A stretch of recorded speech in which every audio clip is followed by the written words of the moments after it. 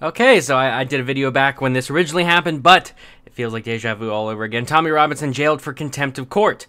Now, to briefly to briefly recap, I will leave the video in the description that I originally did when he was put in jail and then when he was let out of jail.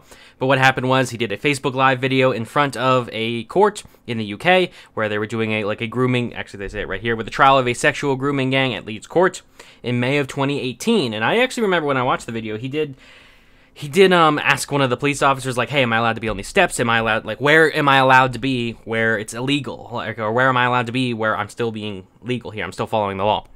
And um, as far as I know, the, the officer told him just don't be on the stairs and you're fine. But apparently, the one thing that actually was illegal, what he did, um, according to the court, was that he showed the video, he showed the images, or he showed the people that were part of the the the gang, that the supposed gang that were being processed through that trial. And that was what was illegal because it interfered with the court. That is how I understand it. Again, I'm not a lawyer, I'm not a legal expert, but that's that seems to be the theory going around. From what I've seen, that's exact. That was the the law breaking there. Um, in one part, outside the court uh, or a social media account, it's called an absolute joke. Yeah. Um, but this is, they're saying right here, two Old Bailey judges said his Facebook Live video of defendants at the trial had encouraged vigilante action. Now, I've seen some people claiming that he actually encouraged violence. I haven't seen any evidence of that um, to these people, but um, I've seen other people, like in this sense, saying that by showing the people's faces, by saying, "Hey, these people were part of a sexual grooming gang," which I never actually found there. I couldn't find the result if that turned out to be true or false, but it was probably true. Um, but just by showing those people and saying, "Hey, these people are um, supposed, supposedly part of a sexual grooming gang," that that was in itself encouraging violence. That seems to be the line of reasoning there.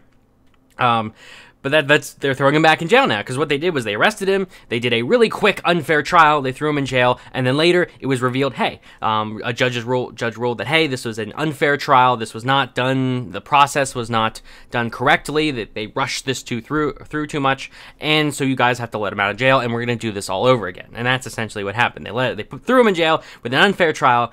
The, the court ruled that it was an unfair trial. Threw uh, let him out of jail and then now they ruled again when they redid the trial that, hey, we're going to throw you back in jail. So I'm not a lawyer. I cannot say whether he actually did break the law or not. I'm not saying, I can't say for sure whether he, he did actually violate the law and therefore deserves to be in jail. I kind of find the law a bit unfair, a bit too excessive um, in that case because I, think what he does is overall, Tommy does some pretty good work. I think even he even puts this in his book, so I'm not I'm taking that much of a radical opinion. When I read his book, Enemy of the State, I, I'll try to remember to leave my review of that in the description something I've noticed that he even does say, yeah, I made a lot of mistakes. Sometimes I rush into things. Sometimes I don't really plan my steps very carefully. Sometimes I just do stuff. He admits he made he makes loads of mistakes, and I think that's really his my biggest criticism of him is that he just kind of he he isn't too concerned about hey, am I really within the bounds of the law here? Is this really the right move? He he just kind of goes into things, which in a sense you can also respect that. Um, that he, I think what he is doing is a good thing. He is he's pursuing justice in that sense. He is trying to expose corruption, expose bias, and I think that's all good things. But in this sense, I can't say does he deserve to be in jail because he did, as it appears, violate the law. The courts, when they did a fair trial, fair. Um, again, I have no idea how fair this this trial was. I looked into it a bit and I can't, I see too many people saying too many different things and I really can't say for sure. But if you want to take a specific side on this, leave a comment below. And again, everyone else reading it, watching this video, look at the comments, see what people's arguments are. Part of the reason I make these videos with like without super in depth, without super in depth case like this is I want to see what other people think. I have no idea if he deserves to be in jail in this case. I think the whole system is pretty dang unfair. I think as the judge ruled, he doesn't he didn't deserve to be thrown in jail that one time. The first court case was really unfair, and he even did ask the police officer during the, the live video, "Hey, am I breaking the law by being on these steps? Can I do I have to be off these steps?" So he was taking precaution there. But um, of course, in the sense of it's like, hey, did he actually break a law? In that sense, is is it corruption or is it just that the law itself is is the place? And again, I'm not even saying if the law is just or unjust, but um, that's something to keep in mind. But it there's clearly a problem here, right? Like I think um, I think we can acknowledge in all of this that there was clearly a problem when um, you do something that you're not entirely sure if it was illegal or not. You ask a police officer, he says no, you're you're fine. Um, he gets thrown in jail, and then he gets taken out of jail, and then he gets thrown back in the jail, and it, that no, there's clearly an issue there. But I do want to go back just as a reminder and look at the original. This was the original article that I looked at back when he was first let out of jail, and exactly why he was let out of jail. So. Uh, he had been c- convicted of contempt in May after broadcasting on Facebook a 1.5 hour video from outside Leeds Crown Court about a case which has a blanket reporting restriction imposed for legal reasons. His footage was watched by 250,000 um, people. Within hours, uh, he was brought before Judge Geoffrey Marson in Leeds and jailed for 10 months with an extra three months for an extra er, for an earlier suspended sentence for contempt. Yesterday, the Court of Appeal found that the judge had rushed into proceedings despite Robinson having removed the video from the internet. The appeals judge also found he was sentenced as if he pleaded guilty, despite it being unclear what he was admitting to, and there had been a muddle about the nature of the contempt he faced. So, what we're finding here is that the original sentence was unfair. It was, it was obviously, they rushed into it, it was bad, and they overturned that. But now they did a, what was supposedly a better, more reasonable trial, and they found the same thing, and they said, okay, actually, you did break the law. So, again, I'm not disputing that. I, I can't really say for sure whether like I'm not talking about whether the law is good or bad. All I'm saying is, did he break the law? It seems like it, but if you think I did, if you think I'm wrong, let me know why in the comment section. I do want to know. And again, everyone watching this that um uh, that thinks he did break the law or didn't think he breaks broke the law, just look at the comments, because um, whenever I make a Tommy Robinson video, people immediately rush and they correct me on certain things, and that's good. That's very helpful. Because um, in this sense, everything seems to be. A, when it comes to Tommy Robinson, the problem is he's such a controversial figure. And you can say that's a good thing or a bad thing that he's controversial. You can say it's unfair that he's controversial. Whatever the point is, he is controversial. And what we find is it's so hard to find out what actually happened because there's so many people, and of course, I'm relying on two like mainstream sources here. And again, how reliable are those? Of course, on my first source, I didn't even remember if that was the Guardian or the BBC I picked. I picked the BBC. Of course, right after that, they're like, "Yeah, look at all what all the support." They, they actually say what he did, and then they immediately jump to, "Look at what all the supporters are doing. Look at all these supporters," and they never do that for for the other side. So of course, there is an obvious bias there. I'll admit that, and that's what I, I kind of respect. That seems to be what Tommy is fighting, just the obvious um the the bias there, the corruption there. But then we have to remember what happened in jail.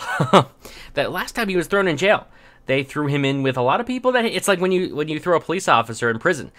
And um, everyone they're in prison with were people that they had thrown in jail or that they had helped throw in jail. So it's something like that where there's a lot of people in that prison that hate his guts.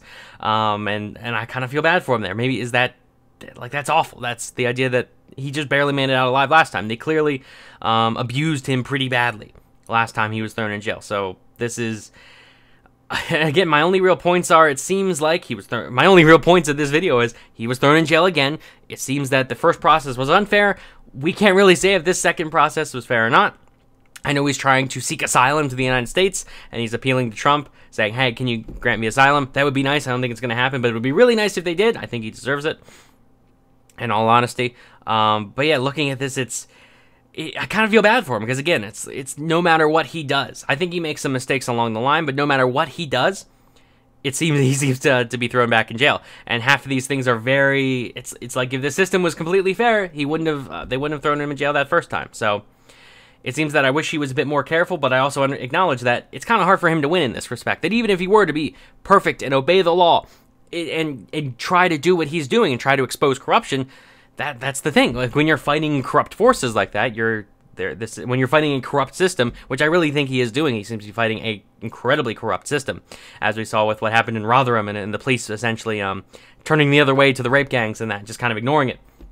Um, I, I I don't know if there is an easy way out for him. It seems like either he has to back off and just quit what he's doing, which I don't think he should, or he has to. This is a risk of the job, kind of, and that they're going to throw him in jail whether he breaks the law or not. And it seems to be something that he has kind of some some part of a mindset that he has um, adopted, or at least a part of his mindset of like learned helplessness. The idea of that when when you're going to be thrown in jail, whether you do right or wrong, why even follow the law?